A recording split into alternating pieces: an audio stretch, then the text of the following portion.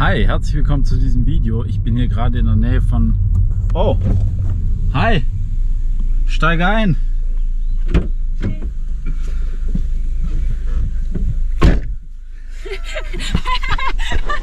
Hi und herzlich willkommen zu diesem Video. Ich äh, fahre gerade mal im Auto. Ich bin in der Nähe von... Oh, hi. Hi, Wie geht's? wie geht's? Hey, was bist denn du hier? Steige ein. Ja, Ja. alles klar, oder? Alles klar, ja? Sehr gut. Herzlich willkommen in meinem Auto.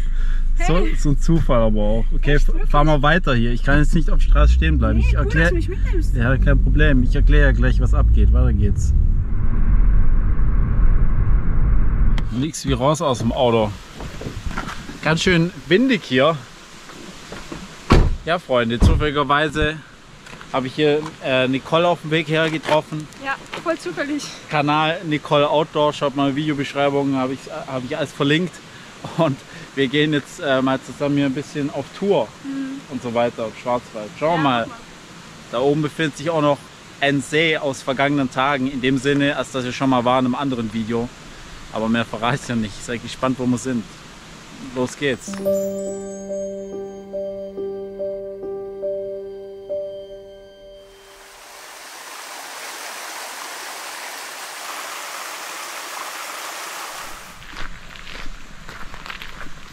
So, wir sind hier gerade schon die ganze Zeit diesen Weg am Hochlaufen und wunderschöne Bäche etc. sind hier auch die ganze Zeit am Plätschern. Schöne Stimmung entsteht dadurch. Genau. Schaut mal hier. Wow.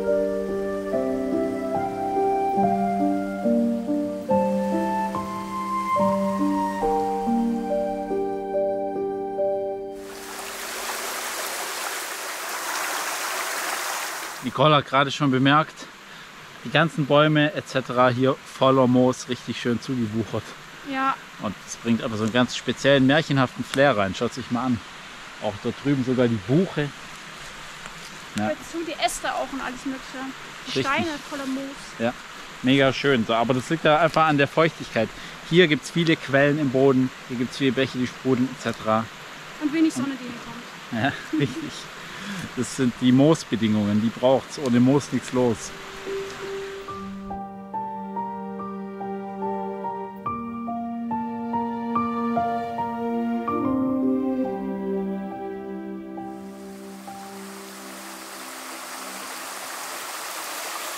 Wenn man da runter schaut, sieht man sehr viel Schaum auf dem Bach drauf. Sieht ein bisschen nach Chemie und so weiter aus, aber das kommt in der Regel von natürlichen Stoffen. Ich kenne mich jetzt zwar äh, spontan nicht so gut aus, aber es gibt natürliche Stoffe, die in der Natur sind, die das bewirken. Und deswegen schäumt es da unten, aber es sieht schlimmer aus als es ist. Macht gar nichts. Ich kenne mich aus.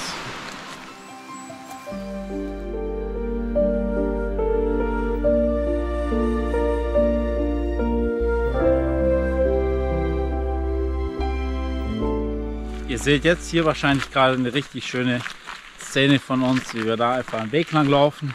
Wunderschöne Szene, ja. Ja, aber natürlich äh, alles nur gestellt, weil ich muss ja nachher noch mal zurücklaufen Ich kann auch zurücklaufen. und, oder du und dann die Kamera holen. Das bedeutet in Wahrheit, naja, gestellt würde ich nicht sagen. Wir laufen ja wirklich Ja, wir hoch. laufen ja wirklich hier Wir hoch. laufen wirklich hier hoch, aber wir sind gleichzeitig. Ich bin jetzt schon mal, ich irgendwas vergessen. Oh, hier- die oh Kamera! mein Gott. Scheiße, ich schnell geh noch mal zurück. Ja, okay. Kann ich so lange entspannen, ich meine Kamera holt. Ach ja. Schöner Tag heute. Mir auch verstecken. Dann fragt sie sich, wo ich bin. Oh nein, richtig dumm hier durchzulaufen, weil diese Sträucher sind voller Zecken. Ich kenne mich da aus. Aber so, jetzt schauen wir mal, wie sie jetzt reagiert, wenn ich auf einmal nicht mehr da bin. Hast du gedacht, sie? Hä? Ne? Wow. Jetzt kommen wir eigentlich noch mal so wie am Anfang dieselbe Szene noch mal so. Herzlich willkommen zu diesem Video. Ich bin hier heute. Ah, Nicole, was machst du denn hier? Äh, ich bin hier unterwegs. Hab die Schöne im Kamera. Wald, Kamera im Wald Die gefunden. gleiche hatte ich auch mal. Echt? Okay, ja. Ist das meine? Okay. Diebstahl.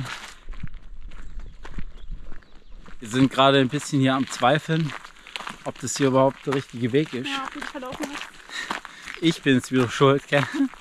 Ja, ne, ich kenne mich hier zwar aus in der Gegend, ich war Mal hier, aber äh, wir wollen eigentlich gerade hoch zu einem gewissen See. Und äh, wir sind aber gerade nicht ganz sicher, ob wir an der richtigen Stelle abgezweigt sind. Deswegen laufen wir jetzt einfach mal ein Stück hier weiter, gucken mal, wo wir hinkommen. Und äh, wenn das nicht die richtige Strecke ist, dann drehen wir halt wieder um. Wir sind gerade so ein bisschen am Reden, Himbeeren gegen Blaubeeren, was wir mehr mögen. Ich mag beides, aber ich finde Himbeeren einfach noch besonderer, weil ich noch lieber. Du? Ja, das Ding ist, eigentlich würde ich bevorzugen Erdbeeren, Ja, aber Erdbeeren gelten ja offiziell nicht Offiziell nicht. Beerenfrüchte. richtig, aber Himbeeren halt auch nicht. Ja. Deswegen ist gerade egal, können wir äh, äh, Erdbeeren auch gelten lassen. ja, dann Erdbeeren. Ja, Erdbeeren, eindeutig. ja und Himbeeren versus äh, Ich weiß Heidelbeeren. Nicht, ich Himbeeren manchmal, wenn die dann so, so, die, so diese Härchen, ich mag das einfach nicht auf, auf der Zunge. Ja, aber eklig. Aroma, rein Ja. vom Aroma. Ja, Aroma schon geil. Ja, Ja. auch besser als Blaubeeren, dann würde ich sagen. Obwohl bei Blaubeeren kann es ja auch so sein, du hast welche, die eklig schmecken und welche so kleine, süße. ja. Die sind schon besser. Also Himbeeren würde ich sagen eher mal so auf Platz 1. Ja, Erdbeeren schon eher auf Platz 1. Nö. Eher so auf Platz 5. Auf Platz 5, ja, was dazwischen? Was die Beerenfrüchte dazwischen? Brombeeren, Ja, Brombeeren, Preiselbeeren. Johannisbeeren. Du hast doch damals im Livestream irgendwie gesagt, Was habe ich gesagt? irgendwas, meine Preiselbeeren, hä, sind das Himbeeren? Ja, man hat es nicht so richtig erkannt, einfach nur. oder? ja Weil ich wahrscheinlich war die äh, Paket auf meinem Handy einfach zu unscharf oder auf meinem Laptop. vielleicht. Vielleicht was, was war das denn am Ende? Himbeeren? Preiselbeeren waren das. Preiselbeeren. Ja, Mann. Alles klar. Alles klar, war wichtig zu sagen. Ja, kleine Debatte hier, einfach mal Denkanstöße geben für den Alltag. Genau. Ja, in dem Sinne. Schönen Tag noch. Guck jetzt hier thematisch passend. Ja, sogar Erdbeeren dabei. Wow. Aber jetzt mehr, das ist ja wirklich mehr oder weniger Zufall, Ja, wirklich. weil dir ist ja gerade wieder eingefallen, das stimmt's? Ja. Na, wirklich jetzt. ja, wirklich. Ja. Wir stellen ja nichts. Der, der Punkt ist halt, äh, wenn, man, wenn man was gar nicht ironisch meint, aber die Leute glauben dann nicht, dass man es nicht ironisch meint, obwohl es wirklich nicht ironisch meint. Weißt du, was ich meine? Ja. ja. Also in dem Fall hatte sie wirklich vergessen, dass sie Willst Erdbeeren du eine Erdbeere haben? Also ist ja bei dir Platz 5. Platz Ich 5. würde dir einen anbieten. Du kannst sogar die große nehmen. Ich nehme die da, Dankeschön. Bitte schön. Hm. Du musst jetzt wieder so übertrieben kauen, damit es auch richtig rüberkommt. Okay, für Platz 5 eigentlich ganz gut sogar. Ja. Platz 4,5 würde ich sogar sagen. Ja, genau. Jetzt entspannen wir hier, machen eine kleine Pause gerade. Vögel sind am Zwitschern, ein paar Motorsägen auch im Hintergrund. Und ja, das genießen wir uns einfach ein bisschen. Noch ein paar Zecken aufsammeln. Guck mal, so, ich mache eigentlich gerade so richtig schöne. Ich versuche jetzt gerade so Ironie und Sarkasmus so mal so beiseite zu lassen. Und dann direkt wieder so bam, in Spruch in die Fresse rein. Aber nein, ist nicht schlimm. Ich bin auch oft so. Ganz ehrlich, mich nervt es auch manchmal selber an mir, wenn ich dann ich selber nicht ernst bleiben kann. So, Ja. Ich kann zu lange nicht Ernstes sagen, muss irgend, irgendwas äh, Blödes schon wieder sagen. Von daher kann ich es gut verstehen. Mm, ja. Ja. Genieß mal einfach ein bisschen hier.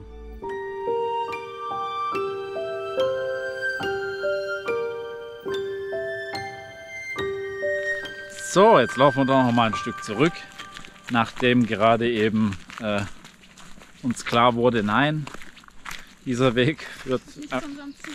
führt nicht dahin, wo wir hinwollen. Jetzt laufen wir noch mal ein Stück zurück. Es gibt nämlich eine Abzweigung, die man richtig erwischen muss. Ich war schon so oft hier, aber ja, ja, bald sind wir da. So, jetzt sind wir wieder auf der richtigen Spur unterwegs. Da oben steht sogar Glaswald See. Aber Ja, ich habe hab die Schuld auch schon auf mich genommen. ja, das äh, Das basiert wollen halt. jetzt auch nicht vertiefen, warum. Nö, das bleibt für immer geheim. Auf jeden Fall, jetzt sind wir wieder auf der richtigen Spur. Da vorne kommen Leute. Ich höre mal auf zu filmen. Ich finde es unangenehm zu filmen, wenn Ja. Leute kommen. Hm. Wir hatten es gerade schon davon, extrem unbefriedigend, wenn man hier die Folie abzieht. Aber es zieht nicht die also eine Fläche ab, sondern es bleibt so ein Fetzen an der Seite zurück. Oh Mann, ey. Wow! Beinahe umgekippt gerade. Ja, Kunst der Balance. Wow. Aber jetzt gibt es erstmal eine kleine Mahlzeit. Diese Roggenbrot wird hier Sesammus. Jetzt ist hier reingetaucht. ich habe das noch nie jemanden so essen sehen. Willst du auch mal probieren? Nee, ich mag nicht. Sesam gar nicht, nee. Ja, aber Sesammus. Manche Leute mögen ja auch Kartoffelbrei, aber keine Kartoffeln. Echt? Nö. Voll Aber- aber Ja, eben. Aber ich du kleckerst voll noch. nö. alles astrein hier. Mm. Du filmst die ganze Zeit und ich esse also von die Erdbeeren, die Erdnüsse, dann okay, nicht die ganze Zeit. Es ist Zufall. Ja, Es geht ja hier immer um mich drum beim Essen zu ja, filmen. ich bin nur Nee, immer wenn, Zufallsprodukt hier. immer wenn du äh, isch, dann direkt so draufhalten. Kann man. Ja, ich muss dann aber auch diese übertriebenen Schmatzgeräusche gleich da machen. Bäh. Widerlich. Nee, aber die Leute würden, ich kenne das selber, wenn ich ein Video anschaue und dann sagt er so, so, jetzt machen wir eine Pause und so. Oh nein, jetzt machen wir eine Pause und so weiter. Dann denke ich mir so, ist jetzt, ist für mich, ich will das sehen so. Und so weiß ich halt auch, dass viele Leute sehen wollen in dem Video, was man macht. Ja, Ja? so die wollen einfach diesen Moment der Befriedigung, wenn man reinbeißt. Ja, okay. Das nervt mich aber auch bei Kochvideos. Manche, die kochen was. Essen es nicht. Ja, der Koch macht so einen richtig, ich muss mal erklären, der macht so einen richtig üppigen Burger hier und dann so, der, beiß rein, so und dann Video zu Ende. Oder nur so ein kleiner Babyhappen, anstatt so richtig herzhaft reinzubeißen.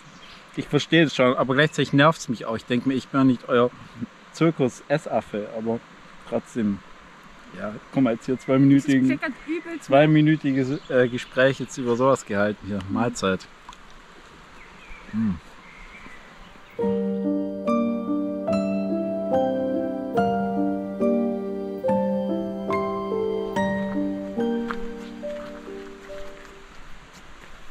Jetzt sind wir gleich da. Und ja, können wir live die Reaktion filmen. Von mir. Ja, du zum ersten Mal einen Glaswaldsee siehst. Und schön, oder? Ich habe ihn noch nicht ganz gesehen. Weißt, du, in meiner Erwartungshaltung so, wow. Und die Realität dann so, mhm. Nee, aber schön. Glaswaldsee, sehr schöner See. Und ja, toll. Toten Bäume. Ja, tote Bäume reingefallen. schon mal einmal außen rum, ja. Aber ich würde sagen, gehen wir auch schon mal hier lang. Weil gerade da gibt es auch so ganz tolle Bereiche mit knorrigen Wurzeln und Pipapo etc. Richtig schön. Oh, okay. Sackgasse. Hier gibt es eine Sackgasse. Es man wagt diesen Sprung. Lang? Man könnte runterspringen, aber ich mach's halt nicht. Ja, aber. Du? Also ohne Kamera würde ich vielleicht machen. Ja, haben wir schon eine Ausrede. Laufen lieber außen rum. Nein, spring da nicht. Boah, guck mal, das sieht mega schön aus. Wie hier die, der Blütenstaub solche Schichten bildet. Klappt, oder? Ja, ja. Bestimmt kurz, äh, so während ich den Blütenstaub gefilmt habe, so kurz außen rum gelaufen, bestimmt, ja. ah. Ja, die, jungen Leute, die haben noch Agilität und so weiter. Bin zu alt für sowas. Wie sie sich jetzt freut, so. Haha, ich hab's gemacht, obwohl er gesagt hat, ich soll es nicht machen. oh, wie schön, schau mal hier, so richtig voll zugewachsen und so weiter alles hier. 46. Wow. Geil.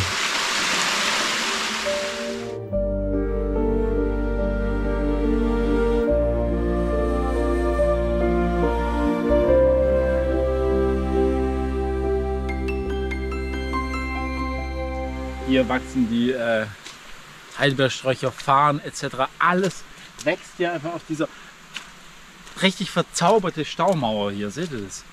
Sieht ja aus wie verzaubert aus dem Märchen. Und hier direkt weitere Märchen, Stellen, knorrige Wurzeln, alles. Bitte? Hier, der Blick ist krass auf jeden. Richtig schön. Schaut es euch an. Ja. Sind zwei Entchen da hinten? oder? Ich glaube schon, ne? Klar, klares, schwarzes Wasser, wollte ich gerade sagen. Aber so schwarzes, mysteriöses Wasser einfach. Ja, guck hier und so ein sanfter Abfluss. Nicht so nervig laut rauschender, sondern ganz sanft vor sich hin plätschernder. Sehr schön.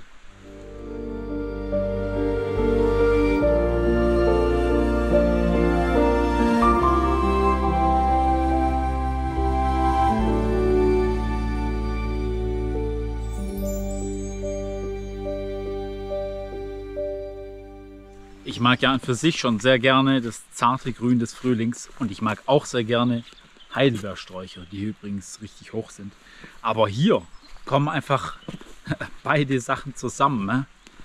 Hier kann man einfach laufen durch ein Meer aus knallgrünen, frisch ausgetriebenen Heidelbeersträuchern. Sieht einfach so wunderschön aus. Das kann ich gar nicht glauben, dass sowas hier wirklich gibt. Schaut euch das an. Sieht echt sicherlich noch mal toller aus als im Video. Aber im Video bestimmt auch wunderschön. Wie Wolken, seht ihr das? Kleine grüne Wolken. Hammer. Und schön am Entspannen auf der Bank hier.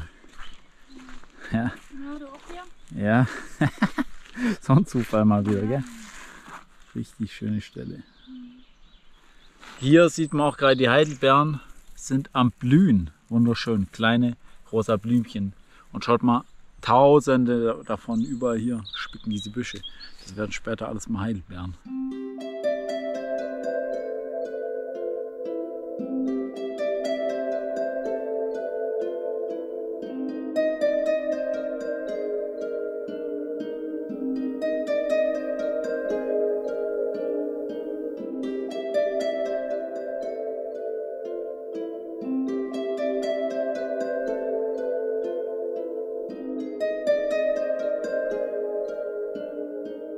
Gebt euch den Tisch hier aus äh, abgesägten Bäumen oder aus den Baumstämmen, Baumstümpfen halt. Bauen hier Möbel gezimmert. Kann hier schön seine Brotzeit abhalten auf diesem rustikalen Tisch.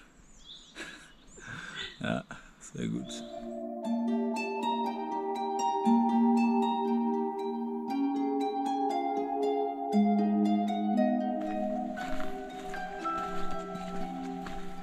Jetzt haben wir unsere Runde um den Glaswaldsee gedreht. Wir haben uns voll gegönnt.